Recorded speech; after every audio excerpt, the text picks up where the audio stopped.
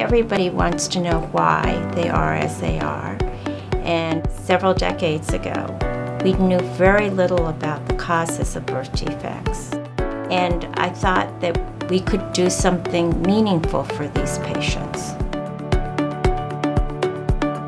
I'm a clinician who cares for patients with birth defects. And in seeing those patients, that drives some of the important questions we try to answer in our laboratory. From a medical perspective, it's very important to know the cause of their birth defects so that we can better tailor our management and treatment. Earlier on, we had very little knowledge or technology to try to determine the causes in these patients. And as new technologies developed, we could apply them.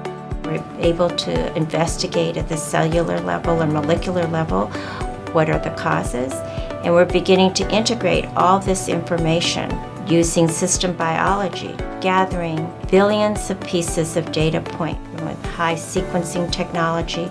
We are able to look at every single base pair of DNA, their genetic information, and try to determine the cause. We probably can identify the cause in over 30% of patients now.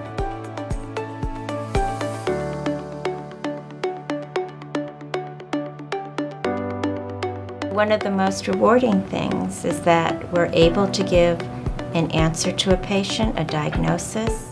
In many cases, that really is the end to some of their lifelong searches to determine why they have their birth defect. But also it's a beginning of an odyssey because in knowing what they have, we can try to tailor our management and treatment to that patient we have been able to do precision medicine for many rare birth defects and actually impact future generations that have the same birth defect.